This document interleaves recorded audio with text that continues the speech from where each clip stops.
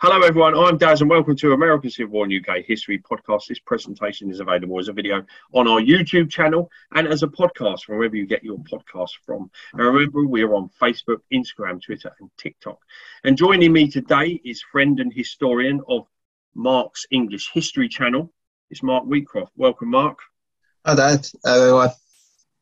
In this podcast today, we will be discussing the end of World War One and the armistice, which is a really important day. So, firstly, Mark, could you start with uh, giving us an overview of World War One? Why, how, who's involved, some of the key points?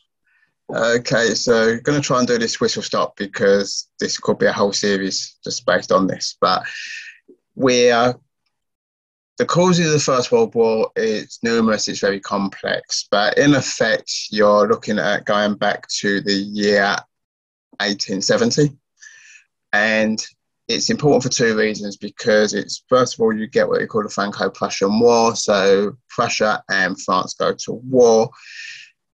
It's a very quick war. The Prussians steamroll the French, take Paris, and as part of their the peace negotiations to end this the Franco-Prussian War in 1870, the Germans annex the regions of Alsace and Lorraine from France, which becomes a major political issue going forward. The other major important reason why the Franco Prussian War is so important is because during this war is the time of Otto Bismarck and the unification of Germany. So the small states of Saxony, Bavaria, all starting coming under Prussian control and then becoming the country of Germany or Deutschland. So that's where it goes back to. Some people say it could go back further, but most the, most people say that 1870 is the point at which the real starting points are. So fast forward 30 years into 1900, and you've got basically three main elements, uh, or four main elements. So what I describe them when I'm teaching teaching my history classes is I'd call them what they call the main causes. So it's militarism, alliances, imperialism, and nationalism. And what you get is in 1905, for example, the Royal Navy launched HMS Dreadnought, which is a game changer in naval warfare. Prior to that, Kaiser Wilhelm II, who obviously, like uh, King George V and other royal families, a grandchild of Queen Victoria. So he's come over to Britain for numerous different state occasions. He's seen the size of our navy at Cowes Week and the Spit Spithead Naval Review and stuff like that, and he's got jealous and he started building one up. Britain had a plan at that point that we was always to be bigger than the second and third navies combined. So this this escalation in the naval arms race by Germany significantly challenges that. And by launching HMS Dreadnought, unwittingly the Royal Navy has hit the start button on a on an arms race by building this two types these classes of ships between the two countries.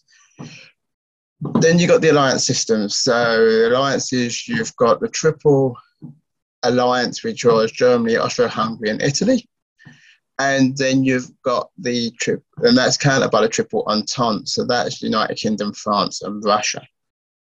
So the idea being these two power blocks, very similar to the idea that developed during the Cold War of mutually assured destruction, that these two power blocks would be so devastating if they went to war with each other that actually they'd, they'd actually work to keep peace instead.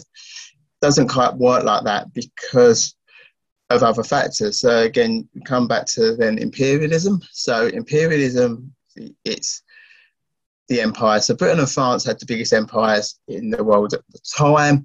The Germans were trying to muscle in on this as well. So again, that's adding tension to it.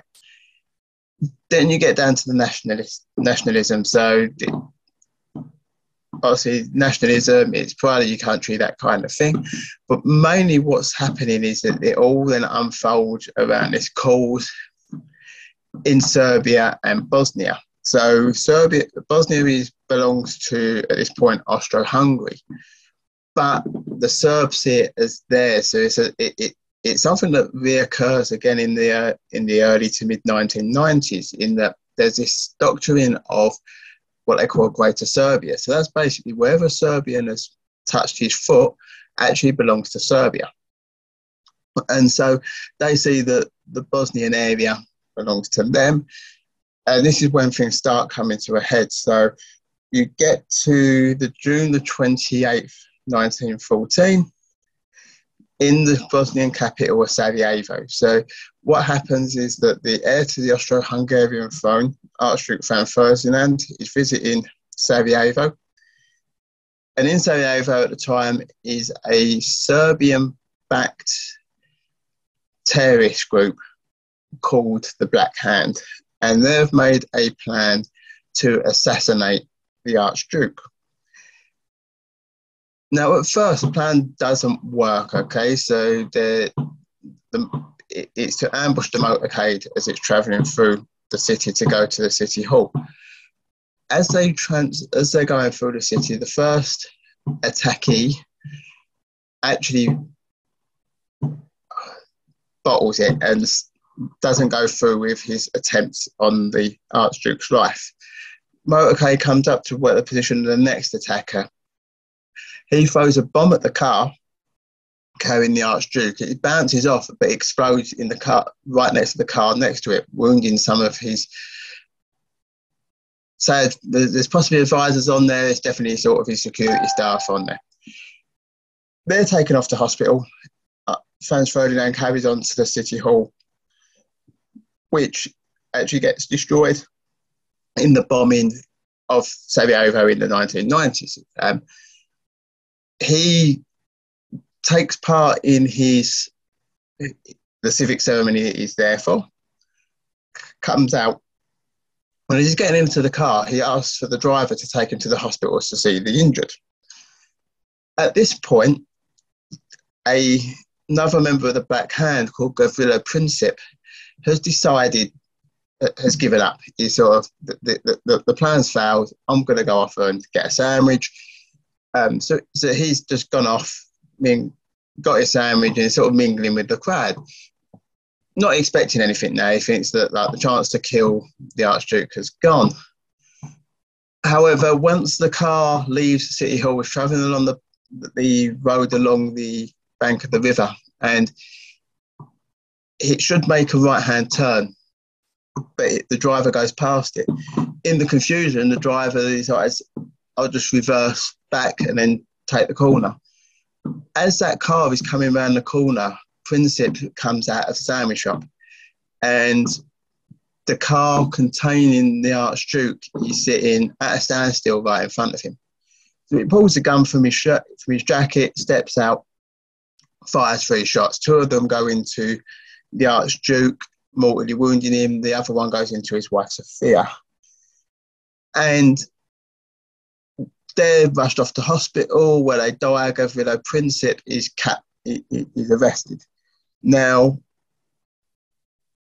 because of all of the build-up and the tensions and the alliances, this is where it all gets a lit goes out of control because Gavrilo Princip is arrested. They obviously interrogate him. He, he declares that he's of Serbian ethnicity and that he's part of this group that are backed by backed by Serbia but rather than just putting him on trial, finding him guilty, executing him, which could have stopped any other snowballing effect or have a large effect from taking place, the Austro-Hungarians decide they need to teach Serbia a lesson, and they, to do that, they're going to attack them and they're going to bombard Belgrade, which, if you look at the map of that's on the screen, the border between Austro-Hungary and Serbia is actually the Danube River, which flows through Belgrade. So the attack on Belgrade is attacked just across the river. So they start shelling what's known as the Kalemegdan Fortress, which is on the cliff of which Belgrade sort of sprawls down from the other side. Um, and in the build up to this, you start getting the alliances making threats and promises to each other. So Serbia, Serbians are of Slavic origin, so they're seen as sometimes referred to as Little Russia, for example. So Russia has decided, uh, uh, declared that if Austro-Hungary attack Serbia, they will declare war on Austro-Hungary. Germany, who's obviously allied to Austro-Hungary, uh, then declare their support for Austro-Hungary and say that they would support them and do whatever they need to do. And this is often referred to as the blank check. Okay, so because they're not sort of given any kind of stipulations or any kind of control, and that's why Germany often gets the blame for the war because they could have prevent. They were the only ones really that could have prevented Austro-Hungary from doing anything. Because if Austro-Hungary had attacked Serbia without Germany's support, Russia would have come in. It would have been a more localized war, and it would be that would have been that. However, Germany decides that they're going to back the Austro Hungarians um, unconditionally and offer this blank check support. Now, Austro Hungary at that point then launched the attack against Serbia. Russia obviously joins the war against Austro Hungary, which then in turn means that Germany declare war on Russia. Now, Germany has a, has a problem and this problem was identified way back in 1905 in that with the alliance, the way the alliance systems work, Germany potentially could be fighting wars on two fronts against Russia in the east, France in the west. So a German general of the time, von Schlieffen, had devised a plan, and he, in his plan, he he believed that it would take Russia up to six months to mobilise all it, all of its forces against Germany. But in the meantime, they would launch a lightning strike against France. So at first, they would attack on the French, the, the direct German French border in the Alsace-Lorraine area. So on the map between the bottom of Luxembourg, the top of Switzerland, in that kind of area. But it'd only be a light attack, and then they'd fall back under the under the force of the French army. But this is a trap that they're laying. Um, because the main thrust will then come through Belgium. Now, von Schlieffen predicted and hoped that the Belgians would remain neutral and allow them free passage. That way, they could sweep round, capture Paris, defeat the French, and then be back over the other side of Germany on the Eastern Front in time for when the, the six month period when the Russians will be ready. Now, it doesn't go that way for the for the Germans because of two reasons. So first of all, the Russians actually get back, uh, get ready a lot quicker than they anticipated. So they're actually then forced to withdraw troops.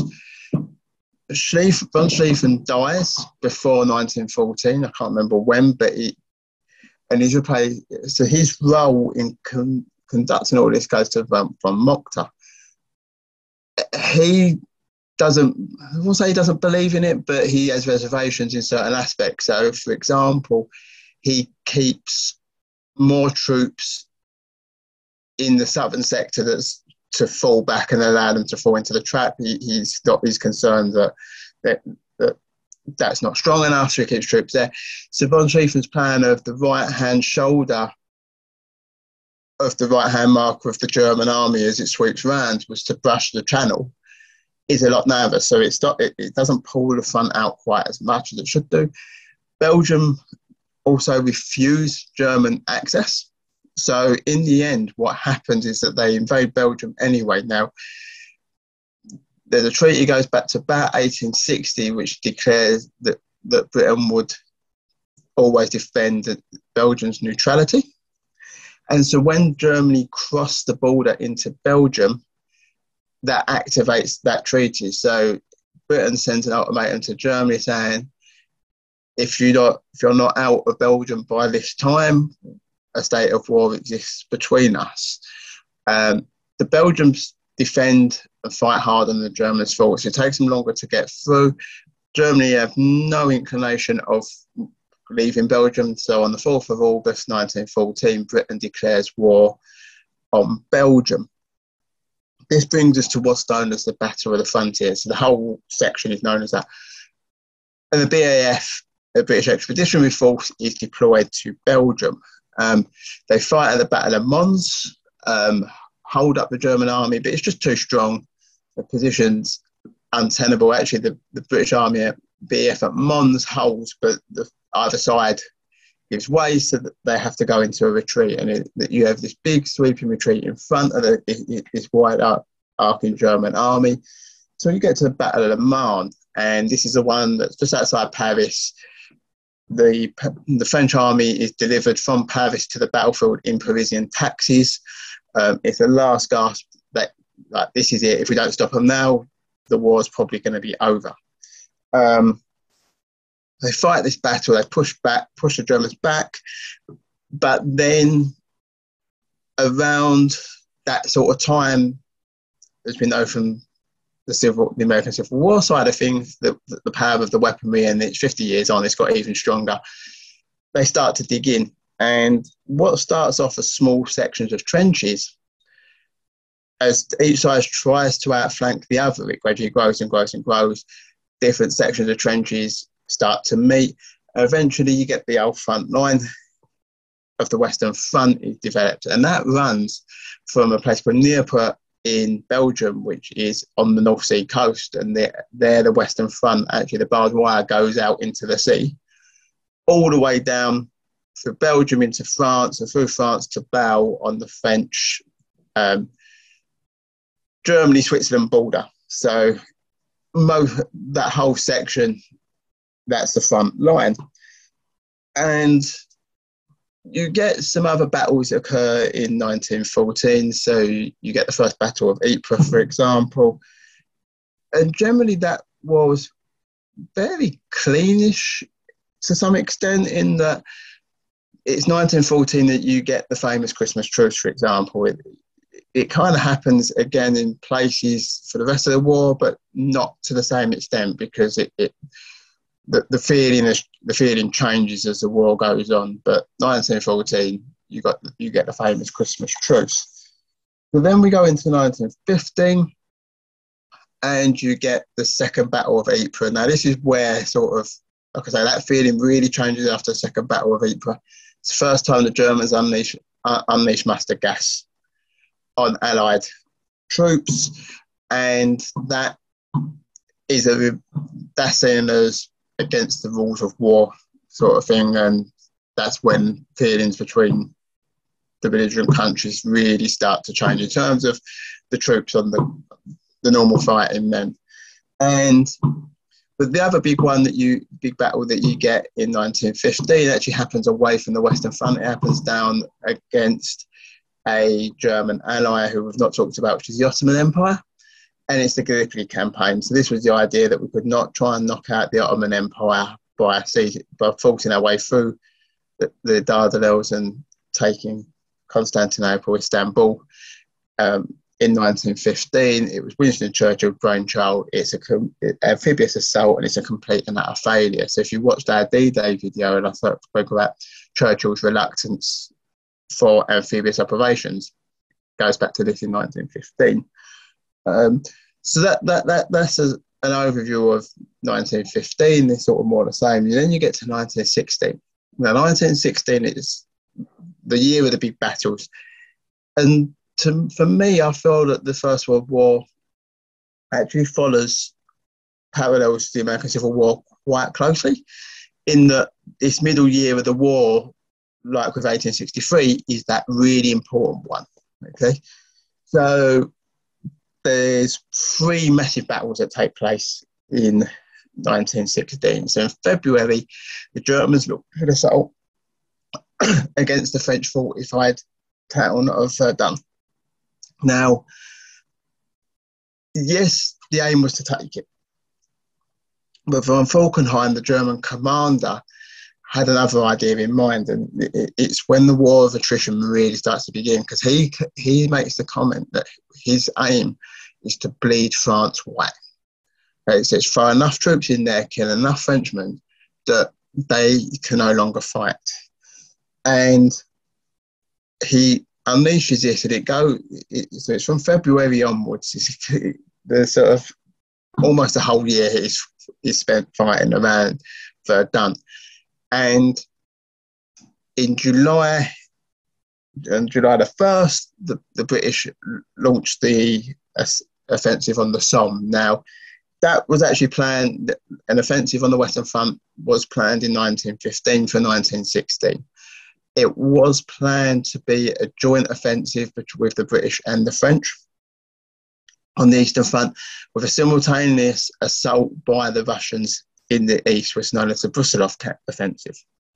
Now, because of the assault on Verdun, it actually takes a large proportion of the French troops away. So it's fought on the Somme. Haig, the British commander, actually wanted to fight it in Flanders, but he was overruled and it was decided to be on the Somme, mainly because the Somme River is actually a demarcation line. The British are to the north, French to the south. So if you're going to do a combined operation between the two, that's put that's the perfect place to do it. Um, the first day is an absolute disaster. We lose sixty, close to sixty thousand men on the on the first day. So, um, unmitigated disaster. Some of them hardly get out of the trenches, but that the some offensive goes from September to November. And by the time you get to November, actually there is an argument there that it's more of a tactical victory than a than a defeat because we by the time we've taken the objectives of Bapaume, that although that initially was the first week's objective, then it was to go into Berlin, but we've taken that. More importantly, we've relieved the pressure off of Verdun. And if you look at the casualty lists or the casualty figures, Britain and France combined lose less men at the Battle of the, um, as, as the whole campaign than the Germans do. Now, when you've got the almost inexhaustible manpower of the empire, we can afford to lose those men where the Germans can't because they've got a they've got a much smaller manpower pool. So it's very similar again, going back linking it to the American Civil War, to um, Grant fighting the Overland campaign in that he, he can lose the men, but Lee Lee can't afford to. So it, it, it links to that that type of warfare. So that that that's happening on uh, in the Grand War. At sea, 1916 is almost just as important because you get the only major clash of the two fleets, so the British Grand British um, Grand Fleet and the German High Seas Fleet at, at, at about 90 miles off of the west coast of Denmark, over Jutland Bank, and it's, a, it's known as the Clash of the Dreadnoughts. Again, it's a inconclusive battle um, to some extent, and that both sides claim victory. Uh, the Germans claim victory because they sink 14 of our ships to their 11. Um, however, when you look into the figures of it, it doesn't. It, they can kind of be a bit distorted. So although they sink 14 of our ships, a lot of our ships that sink are old, uh, old obsolete ships compared to Germany's more modern. Plus, also our fleet that goes out and fights in the Battle of Jutland is 154 ships to their 99. So, in terms of percentage, we again we can afford to lose more ships than they can. So, um, but at the end of the battle, the German dreadnought fleet goes back into port. It never comes out again. We, the British Navy, is able to continue the blockade of the German ports, which will have a big impact in what we get when we get onto 1918. Also, it then means that the only naval warfare that the Germans can actually use is, is submarines, and it ends in 1917. They go to the unrestricted sinking, where basically anything, it's free game out there in the Atlantic which eventually will force America into the war. Um, something I didn't mention in 1915 was the sinking of the Lusitania as well. Um, the British flagship, it, it, it, was a passenger liner. It did have war supplies on it of some description. We don't know what exactly, um, but there was a lot of American citizens on board when the Germans torpedo and sink it off the coast of Ireland. That had a massive turning point in America's ideology in the First World War is that it went from a completely neutral stance to favouring the Allies. Then in 1917, joining when unrestricted warfare is completely um, launched against all shipping in the Atlantic. So 1917, again, you get some key major battles. So the Canadians managed to take Vimy Ridge, which is a highly important strategical position just outside Lille. Um, and then the Battle of Passchendaele or the Third Battle of Ypres takes place there as well. So this is the what the, the after the Somme, it's the most famous battle. It's the one that's fought, that's fought in deep mud um, in Flanders. So that's um, that occurs. But outside, and also you get the Battle of Cambrai, which is the big tank battle of the First World War. Um, so major developments you see going through the war. Um, but also 1917, it's the year when things start to fall apart for certain countries. So in February 1917, you get the you get the February Re- Revolution in Russia, which ousted the Tsar. Um, Kerensky comes in with his um, democratic government, which in turn in October the Germans basically pushed the nuclear button in terms of Russia, and they said they um, ship in Lenin, um, and he unleashes the October Revolution, seizes power for the communists, and at that point starts negotiating with the Germans for a surrender on the Eastern Front. Uh, the French army at this point also is close to mutiny. Um, they're having enough as well.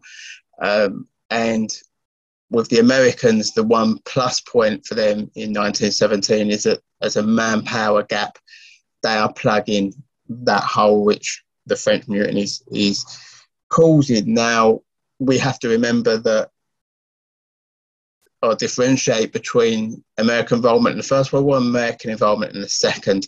In the First World War, it's a lot smaller. They're, they're, they're, they're only in for 18 months max.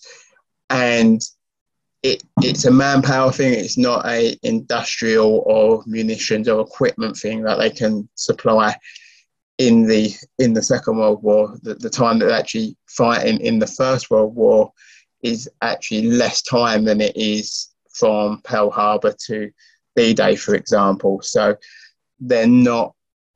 It's nowhere near the same the, the, the same caliber. Um, America's position in the world is is lower at that stage. Okay, so um, it is a um, at this point it's manpower pretty much only that that they're bringing into it in 1917. So 1918, you get the Treaty of Brest-Litovsk. Um, this is the, the treaty that ends the war in with the Russians. And to be honest, possibly Germany's best chance of a, a decent terms would be if they would have at this point sued for peace in the West as well, before the Americans would really come in and have much of an influence and it, they'll probably have to give out Alsace-Lorraine, but they might have got away with a bit more than they did. Um, instead, what they do is they launch one last major offensive in that spring that's known as Kaiserschlacht, so Kaiser's battle. Um, it's the battle. Main thing, main important thing is it's the, finally the trench warfare has broken out. So one side has made a significant breakthrough again, they kind of stopped around the Marne area, similar, and then pushed back. But the the Allies at that, that that point then just keep pushing them back, pushing them back out past the front lines, and they're going back towards Germany. And it gets to around about 20, September, late September. Ludendorff, the commander, tells oh, the field commander tells Hindenburg that basically we need to surrender. And so that's the point at which the um, the end of the war starts moving at, at, at quite a pace. Great, thanks for explaining that. That was really good. Um, really interesting. Um, and you managed to fit in four years in that really short period of time. So thanks for that. So that leads us to yeah. into the 11th of the 11th, 1918, which is known as the armistice. Firstly, what is an armistice for people that don't know? Yeah, so obviously it leads to it now. An armistice is another word for ceasefire. Okay, so the war itself doesn't end officially on the 11th of November.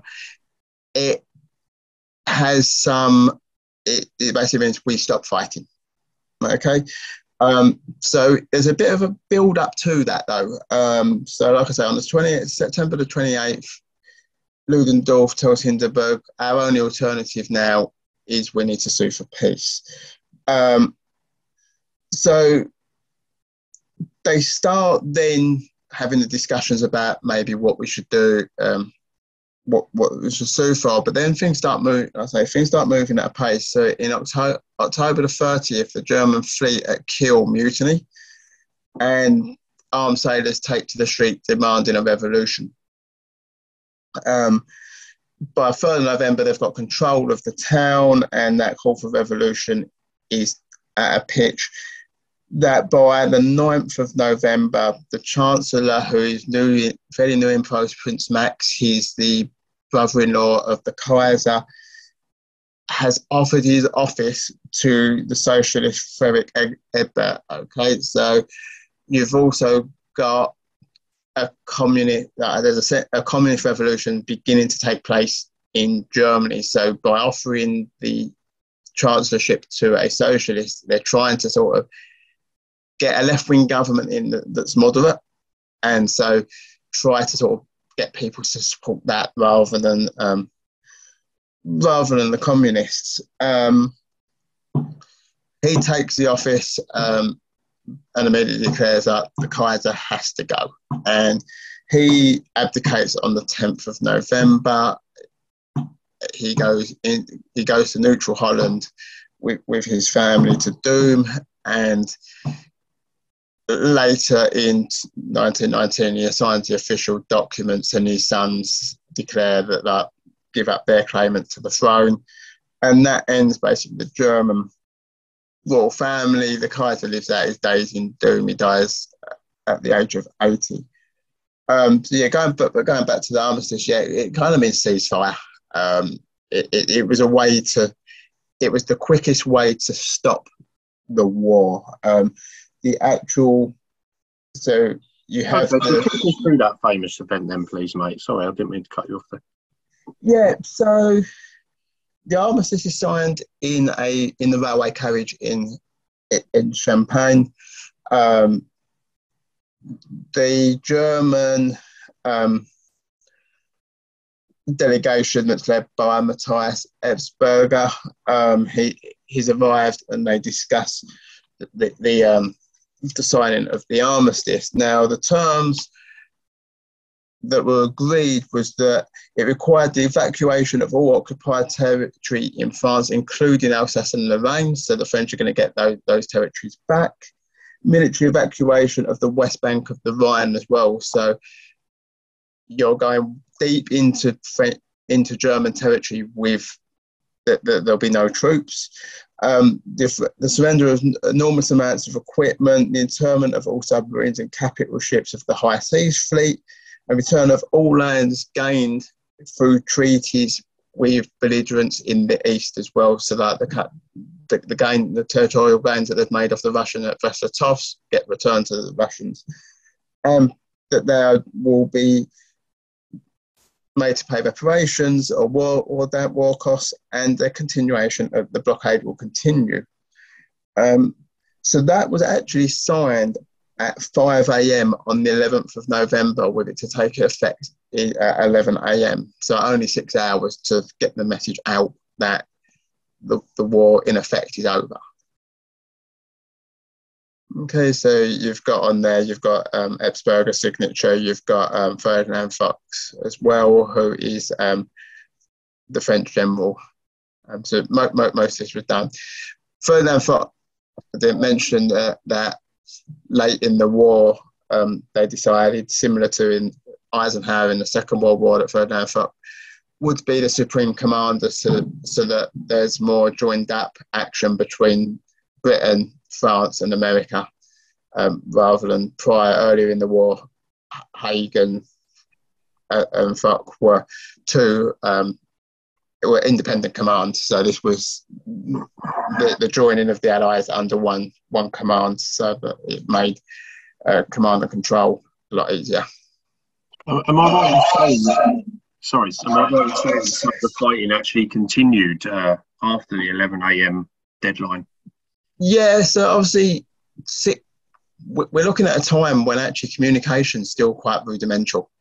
So six hours to get the message from Compiègne out to the different air, different parts of the battlefield is that is going to be quite hard. So yeah, fighting did continue. Um, it's estimated that nearly three thousand men die on the 11th itself. Um, it's a bit awkward to say exactly how many of those sort of were.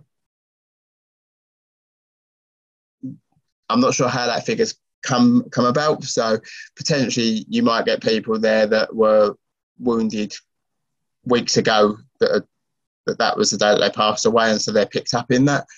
Um, but it does show that there is still elements of sporadic fighting along the front, whilst everyone's trying to take stock of the situation and news is getting through, because obviously the front lines are are quite distant from command centres. So yes, the messages would have been going to them, but then as it was trickling down, the last people to actually hear that the war was over are actually the people that are right at the coalface. So it, it's you would have had sporadic fighting continuing beyond that as before the messages actually reached all, all the um, all the localised commands and down onto the front lines.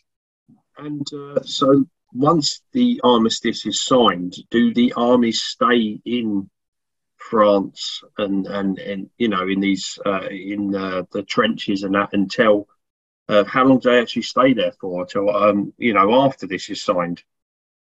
Uh, so these armies of occupation, um, they're not actually in the trenches pretty much by spring of 1918. Trench warfare is actually gone. Um, it's blasted out of there. Okay, yeah. um, in terms of sort of what what we know it as, it's probably more I would imagine that they were still sort of semi-dug in, but you're probably looking more like small unit foxholes, similar to what we get in the Second World War, as compared to that the long line of trenches um, that we imagine that, that, that, imagination tells us of the First World War. So um, I know some of the French units follow the German army back to make sure that they do clear and they do semi-occupy parts of Germany.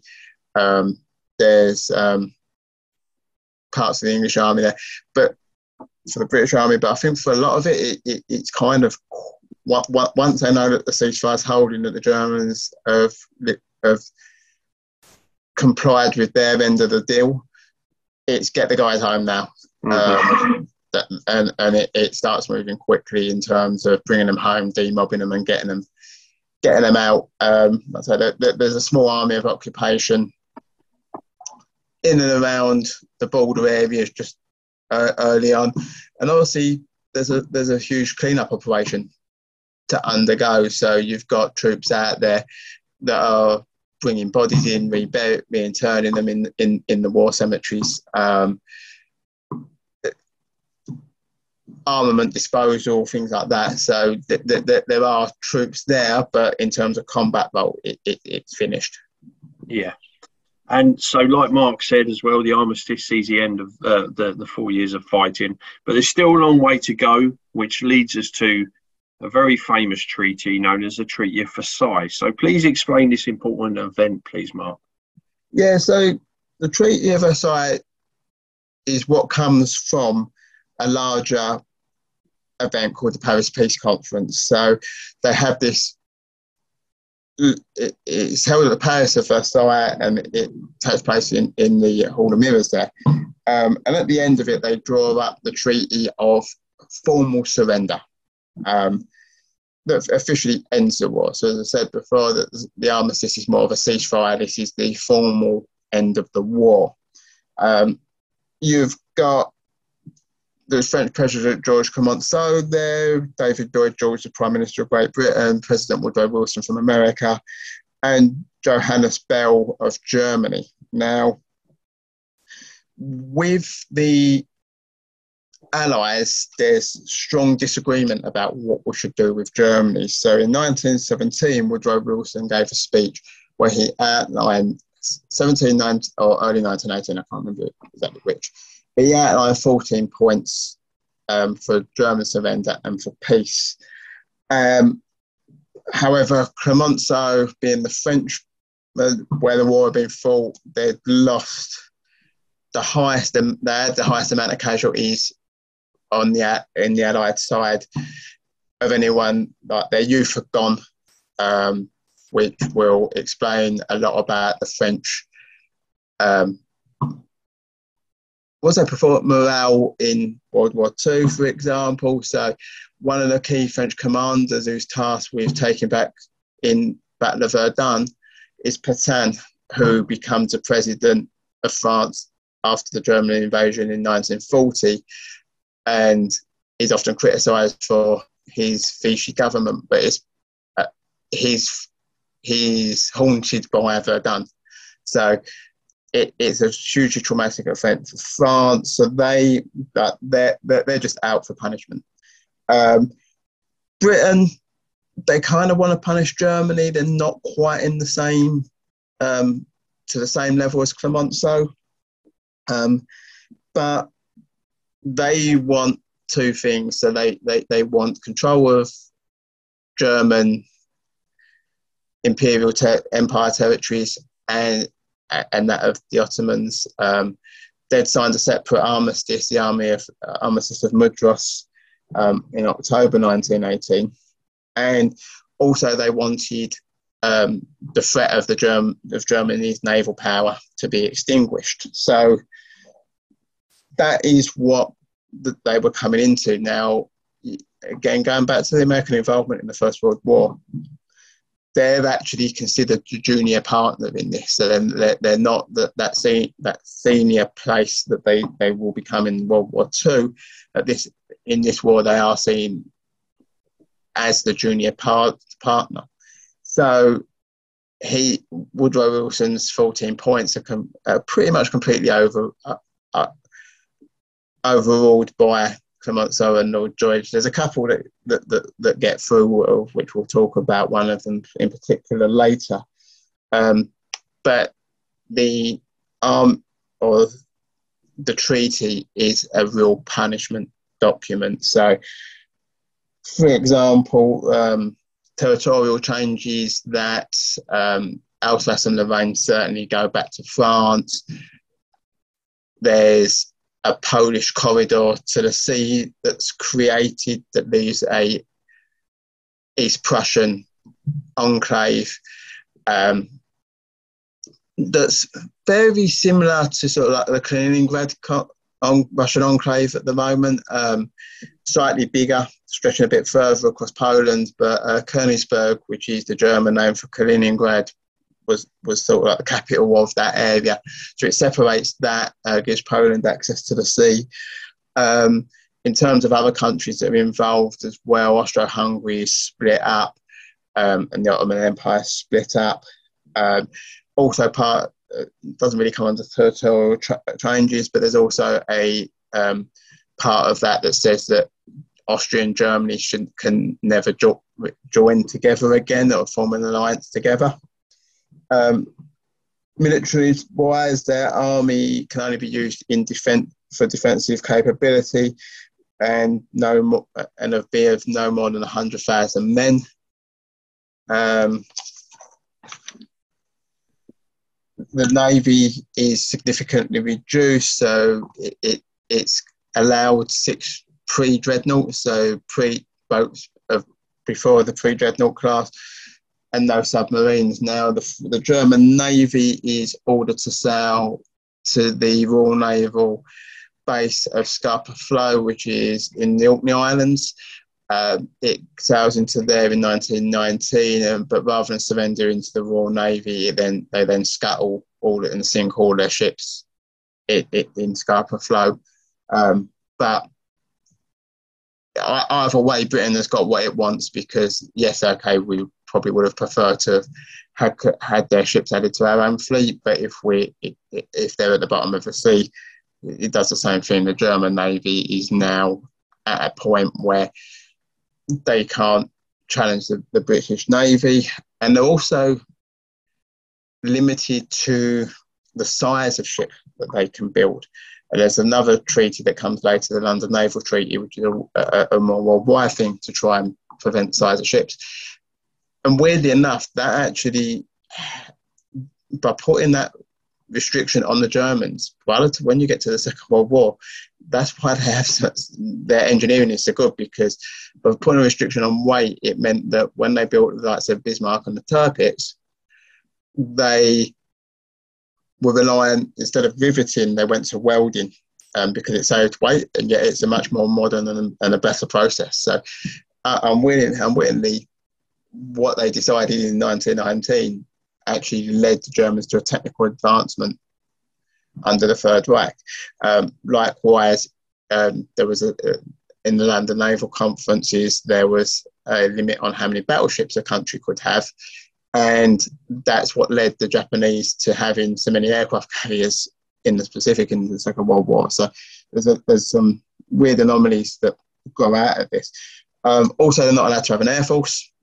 Um, and lastly, and this is probably the biggest one for Germany to bear going forward, is that they're ordered to pay reparations, which I believe was 600 million, 600 million um, pounds.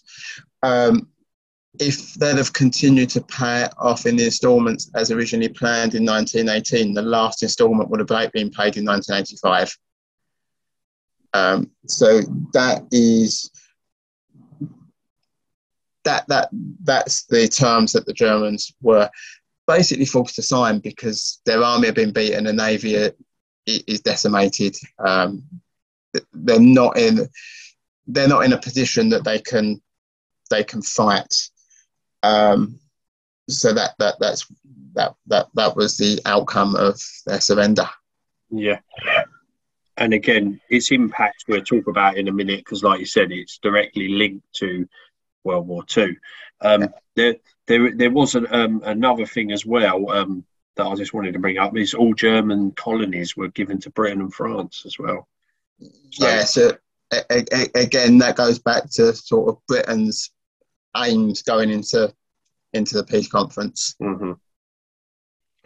And uh, so, yeah, um, that's that. And then you get the formation of the League of Nations on the 10th of January in 1920. Uh, 42 founding members. Um, its largest numbers of members will be 58. Um, to tell us a little bit about that, please, mate. Yeah, so this is one of the few of the 14 points of Woodrow Wilson's um, ideas that he putting forward at the peace conference. So, League of Nations is a founding, is a precursor to the United Nations. Um, so that the idea is is that nations can talk and they can get over problems and try to prevent wars because, as we know, the Great War at the time was known as the war to end all wars. Uh, hindsight tells us different, but so this was a way that they were hoping it could um, it could challenge that. Now it has some major flaws to it. Like like say, you, you you could come and leave as you wished. It wasn't a it wasn't something that was particularly mandated that you had to be in. Um, and if one of the biggest problems is that it had the Americans, although it was their idea, or Woodrow Wilson's idea, they never actually joined. So post 1918, because Europe is shattered, this is when America really does take off to be the preeminent world power.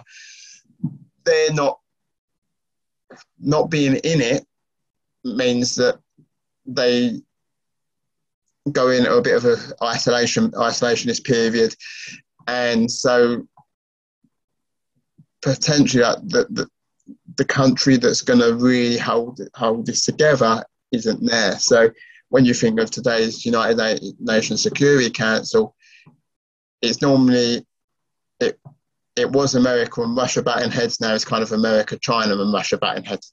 Um, well, think of that without America in it, and that's what you got. It's a bit more looser, so it didn't work for that reason. Also, it didn't have it. It didn't. It, it couldn't bring an armed force to bear on its behalf. So where the United Nations can put in neutral troops into conflict zones to keep to try to keep the warring parties apart from each other and make sure that um, certain aspects of warfare is, is being war, uh, rules of war being respected.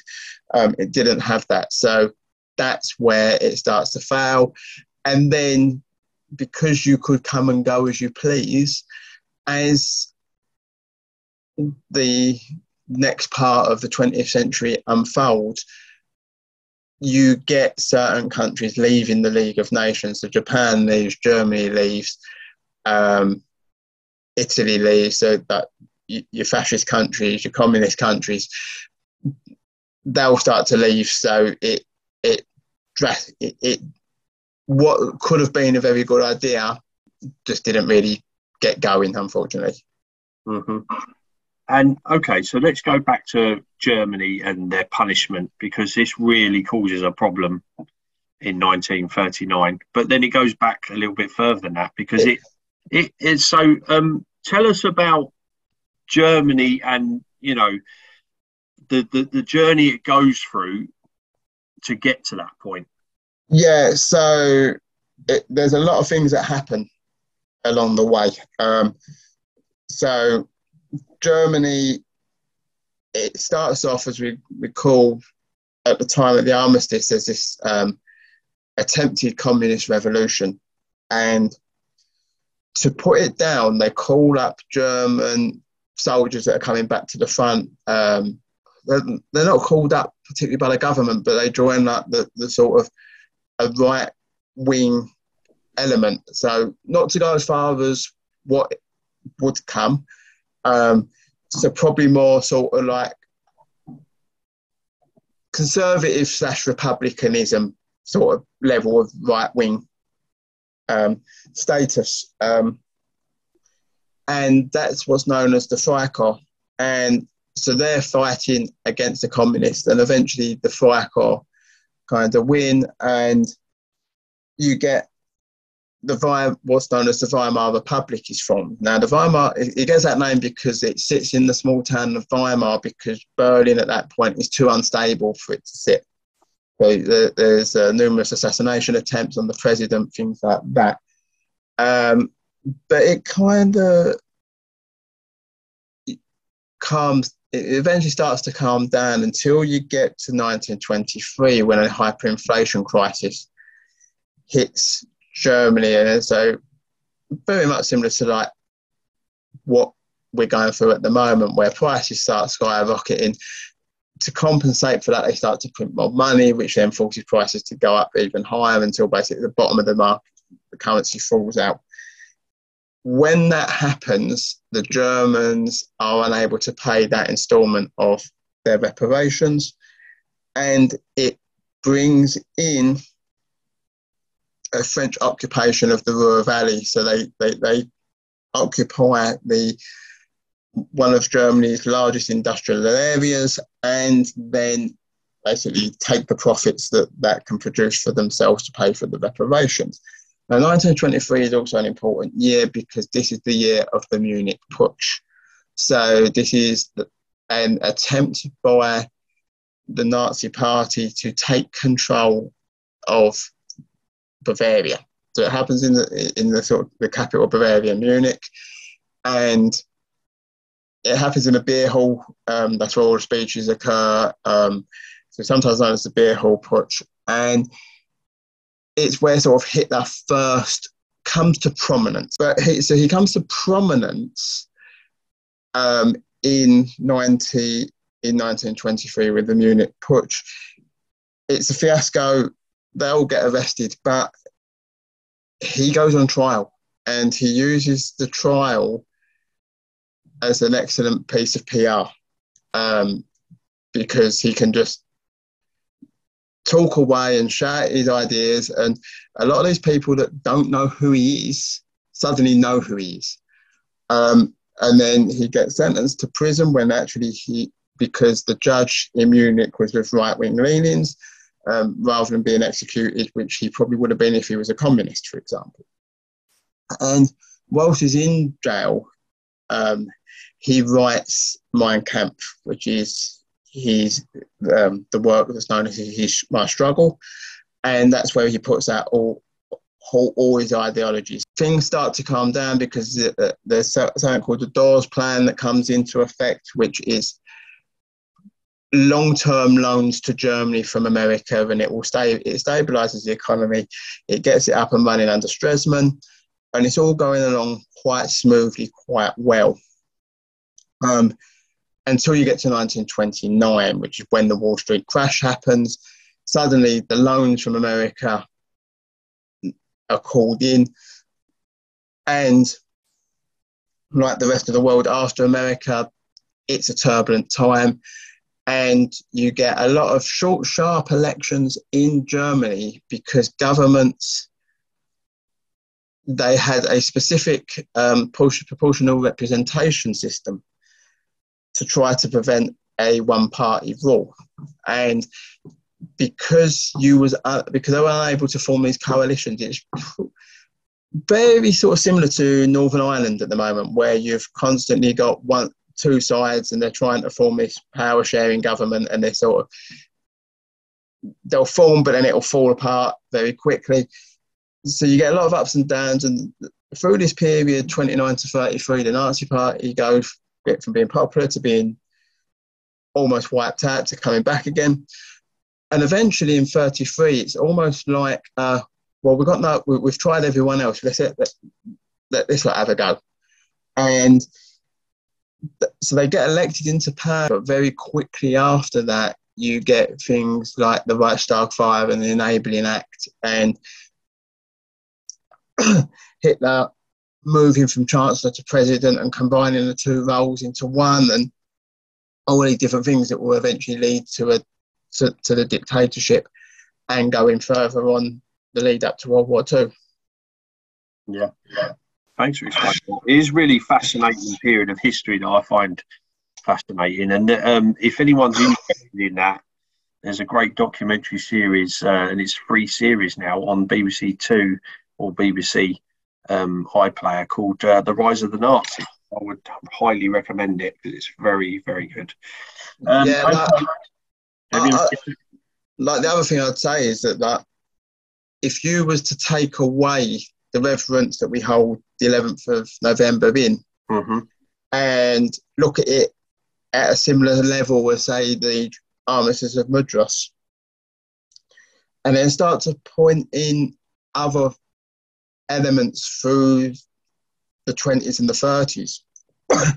You're looking at like, the Russian Civil War, Japanese expansion, the Sino-Japanese War, and the invasion of Manchuria, the Spanish Civil War, and the German sort of proxy war there with the Condor Legion. And then any of the flashpoints of the appeasement period when the reoccupation of the Rhineland, the Anschluss with Austria, the invasion, the, the annexation of Sudetenland, followed by the full invasion of Czechoslovakia, which was primarily to get for the Germans to get their hands on, on the Czech armaments industry through to the invasion of Poland. If you, if you plot that on a timeline, I would say that you could argue definitely argue that the early 20th century was actually that was a 30 year war. Mm-hmm. Yeah, um, but because our view of the end of the First World War, it takes away that because we're not directly involved. But it, there is a lot. It, it's more akin to the Napoleonic Wars or the Hundred Years' War, where it's a longer period of war, it's 30 years, but there's flashpoints all the way along. And there's that it's bookended by two major ones, but in between. And in a lot of the cases, the causations for them and the Second World War all stem from the 1st mm-hmm. Okay, let's move back to um, well, let's talk about remembrance now, because uh, here in the UK we have a very important monument called the Cenotaph in Yeah. Whitehall in London. It's a beautiful thing if you ever get a chance to see it in person. Very, very symbolic to us. It was unveiled in 1920. Uh, just talk a little bit about um, Remembrance Sunday for us, please. Yeah, so Remembrance Sunday began, it actually began, began as a victory parade. Um, and the cenotaph itself, the word means empty tomb. And the that the one that you've, you see in the picture is the second one. Okay, the first one was a plywood structure. It was only meant to be temporary for the victory parade to um, to illustrate and to remember those who ne- who never came home. However, what occurred at the victory parade was that a lot of the grieving relatives travelled to London to view the victory parade. And in the weeks afterwards, I started laying flowers at it. And that was when it was then decided that we need that something permanent and formal needed to go be put up. And because of the way that the country in 1920 reacted to the plywood structure, it decided that they would create exactly the same structure but out of marble. hmm And Remembrance Day from that point on took on a, di- a, a- different significance because it became more about the remembrance and less about the victory. Yeah.